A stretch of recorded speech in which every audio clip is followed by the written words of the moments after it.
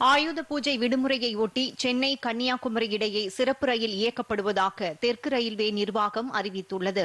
இது தொடர்பாக வெளியிட்ட அறிக்கையில் இன்று மற்றும் வருகிற பனிரெண்டாம் தேதி இந்த ரயில் இயக்கப்பட உள்ளதாகவும் நள்ளிரவு பதினொன்று நாற்பத்தைந்து மணிக்கு சென்னையில் இருந்து புறப்படும் இந்த ரயில் பகல் பனிரெண்டு இருபது மணிக்கு கன்னியாகுமரி சென்றடையும் என்றும் மறுமார்க்கமாக வெள்ளி மற்றும் ஞாயிற்றுக்கிழமை பிற்பகல் இரண்டு நாற்பத்தைந்து மணிக்கு புறப்பட்டு மறுநாள் அதிகாலை மூன்று பதினைந்து மணிக்கு சென்னை எழும்பூர் ரயில் நிலையம் வந்தடையும் எனவும் தெரிவிக்கப்பட்டுள்ளது.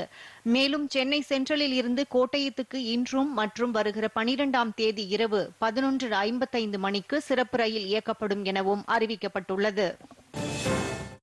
ஆயுத பூஜை மற்றும் தொடர் விடுமுறையை முன்னிட்டு இன்று சிறப்பு பேருந்து இயக்க திட்டமிட்டுள்ளதாக அரசு விரைவு போக்குவரத்து கழகம் தெரிவித்துள்ளது. இது தொடர்பாக வெளியிடப்பட்ட அறிவிப்பில் சென்னை கிளாம்பாக்கத்தில் இருந்து திருவண்ணாமலை திருச்சி கும்பகோணம் திருநெல்வேலி நாகர்கோவில் கன்னியாகுமரி உள்ளிட்ட பகுதிகளுக்கு எண்ணூற்று எண்பது பேருந்துகள் இயக்க திட்டமிடப்பட்டுள்ளதாக தெரிவிக்கப்பட்டுள்ளது. மேலும் சென்னை கோயம்பேட்டிலிருந்து திருவண்ணாமலை நாகை வேளாங்கண்ணி ஒசூர் பெங்களூரு ஆகிய இடங்களுக்கு இருநூற்று அறுபத்தைந்து பேருந்துகள் பேருந்துகளும் பெங்களூரு திருப்பூர் ஈரோடு மற்றும் கோயம்புத்தூர் ஆகிய இடங்களில் இருந்து பல்வேறு இடங்களுக்கு இருநூறு சிறப்பு பேருந்துகளும் இயக்க திட்டமிடப்பட்டுள்ளது.